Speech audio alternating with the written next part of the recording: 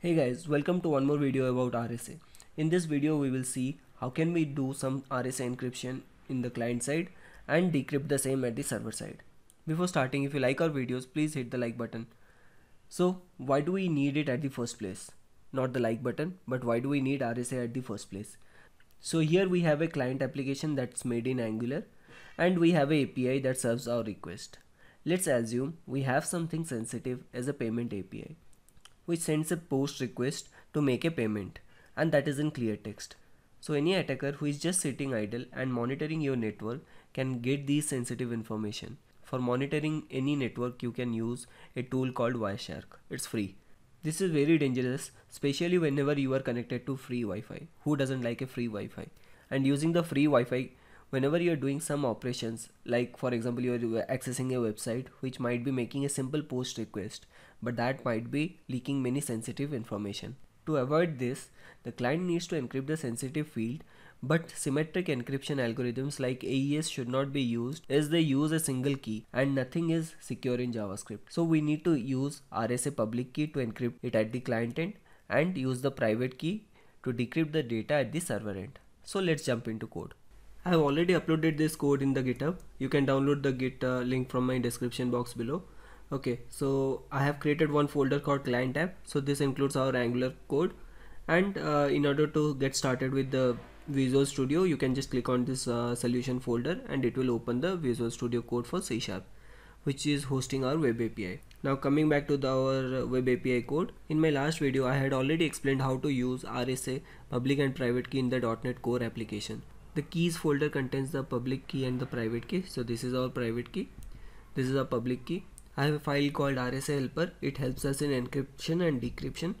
And if we go to our launch settings.json so our API is hosted in the port 5000 and the launch URL whenever the application starts it will hit this controller. So that is nothing but the status controller. The status controller will tell us whether the application is started or not. Next we have one more controller called login controller. So the login controller is just as of now used to check whether if the username is technosaviour and the password is testpass if it is successful then it returns as a successful response. That is true or false? Now coming back to our angular application. So our angular application has a login component. The login component has a html that will help us in capturing the username and password in these fields username and user password field and in the ts file. I'm just making a call to the API using the login username and password that was entered by the user. So if any successful response is coming or the failed response is coming, the application will behave accordingly. You can start the application by using npm start command. I have already started it and it's up and running. So I'll just start the .NET. The .NET Web API is up and running now. We can use localhost 4200 to access the application and once we start the application it by default redirects to the path login so this is our basic login form that I had created. I had saved the username and password. So that's why it is already auto populating it might not auto populate for you. So make sure that the username and password are technosaviour and testpass right now we will just hit on the login. So it logs in successfully and log out it comes out. If we debug our code let's see what response are we getting as of now. So I'll put a breakpoint here and uh, let's try to log in again. And you can see this user model contains the technosaviour and password. That is technosaviour and test pass. Now if we go back to the fiddler you can see the request is made to the API slash login and it is very clearly visible in the network traffic. So any attacker can use this information. And then we'll continue the application. It returns the response as true. We can verify the same in the fiddler. If you double click it it will tell json response is true due to which we have logged in successfully. Now let's click on logout now the target here is to encrypt the password. That is sensitive for us. We can also encrypt the username. For this example I'll just be encrypting a single field. So let's only encrypt the password and try decrypting it at the server side. One thing to note over here is since we'll be using RSA algorithm to encrypt and decrypt. So the same public key and private key has to be used. For example here if we are planning to decrypt using this private key then we should encrypt it using the public key. So whenever you, if you are starting the angular application for the first time you have to type npm install.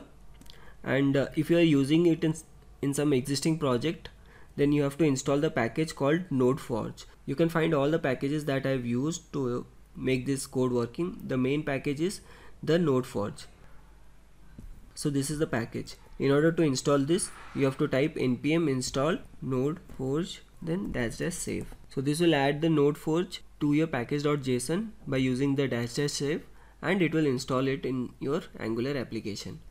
Now next moving forward to the login component.ts file. So the first thing that we need to do is we have to import the nodeforge so once we import it we can start using the node forge using the forge command. Next here I pasted the public key.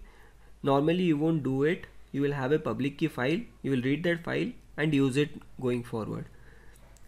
Then in order to use the node forge to encrypt it we are creating a RSA object.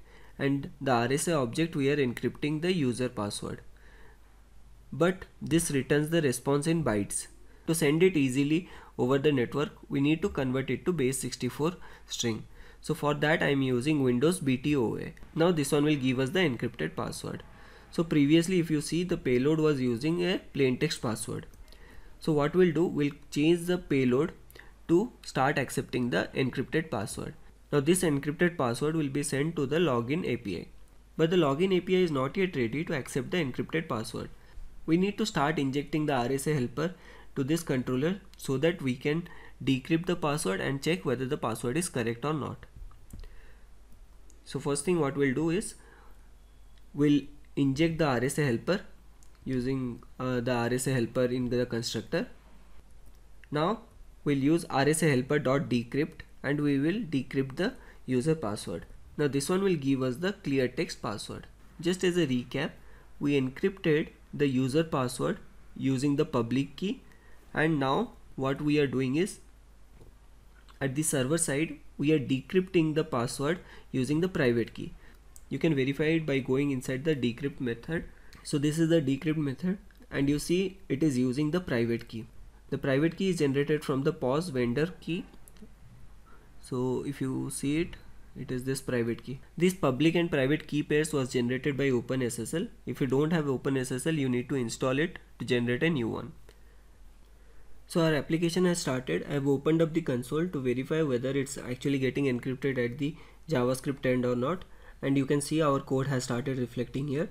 So as soon as I click on login so it creates the object of the RSA and uh, next what it will do it will try to use this public key uh, object to encrypt it.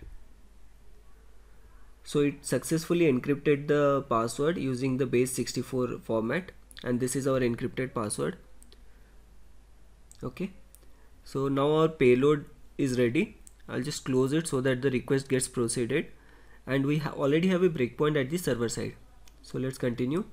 So the user object now contains the username in plain text and password that is encrypted.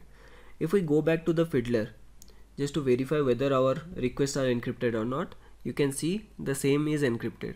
So any attacker that is monitoring the network won't be able to understand what this information is. You can encrypt the entire payload altogether.